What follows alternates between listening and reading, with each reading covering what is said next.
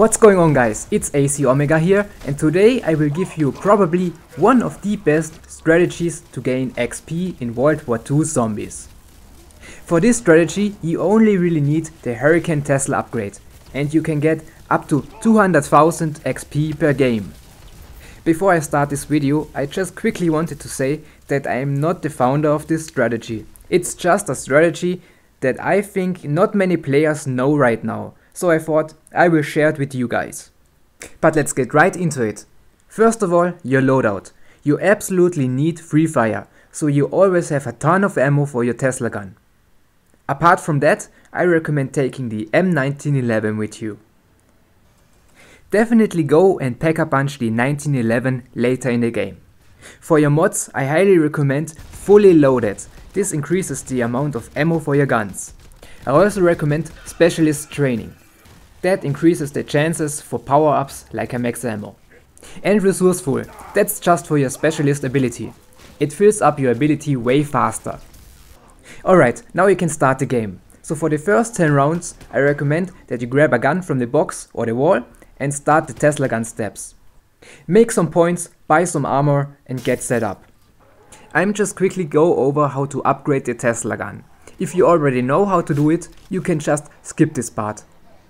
After you open the salt mine door, take one of the bomber zombies to the laboratory to kill him near this locker on the wall.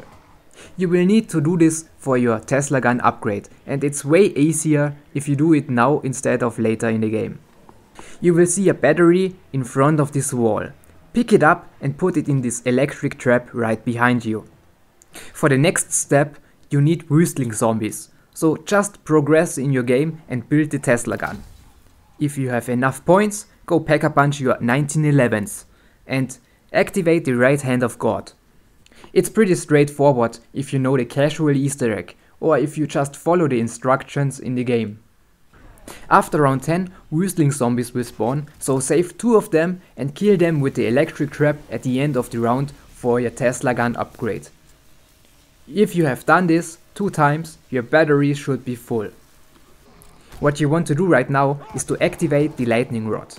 As long as you have upgraded 1911s and free fire, you will have no problems with that. Just defend the lightning rod two times and you are done. After this, you are ready to put in your battery in the laboratory. You have to defend the battery for a few minutes and after that you can construct the upgraded Tesla gun, the Hurricane. Now, here's the strategy. You just camp right next to the quick revive or Lebensblitz machine and shoot your Tesla gun. For around 20 to 40 it's pretty simple, you don't really have to move at all. By the way, I recommend getting perks if you haven't already. Definitely go for double tap and speed cola. I also got electric cherry and quick revive. So basically, you just camp at the spawn and use your Tesla gun. Use free fire if you have it and just destroy them. Don't worry too much about Wüstling zombies. They might start to run at you, but just stay calm. And shoot the Tesla gun. Maybe they will hit you once, but before they can hit you again, they will be dead. The only problem is the flamethrower guy. Till round 40 I had not too many difficulties killing him. As long as you have free fire and your upgraded pistols. But yeah, if you feel overrun, go and kill him with some traps and you should be good to go. Go back to the spawn and repeat shooting the Tesla gun. And if you run out of ammo, Try to fill up your specialist ability with your 1911s.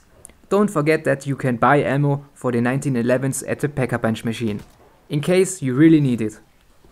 I highly recommend that you kill the flamethrower guy after round 40 somewhere else, because as you can see, I had no chance defeating him.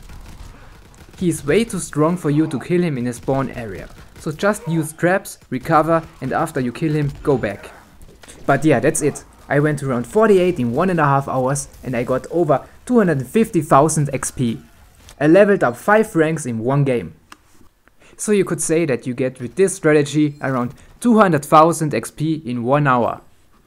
So yeah, pretty fast XP strategy. I hope this was helpful. But yeah, thanks for watching, until next time.